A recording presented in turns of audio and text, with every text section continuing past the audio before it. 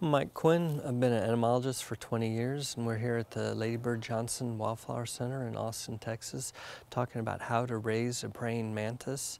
Basically, um, you can keep the uh, critter in a small cage and um, and put in insects in there. They feed on a wide variety of insects. Uh, easy insect to um, keep alongside uh, to provide food for the praying mantis are crickets.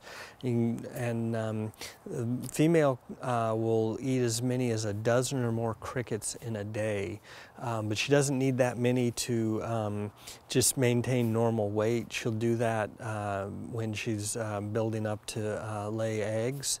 And um, if the female is well fed, uh, if you have a male and female, they won't um, eat each other.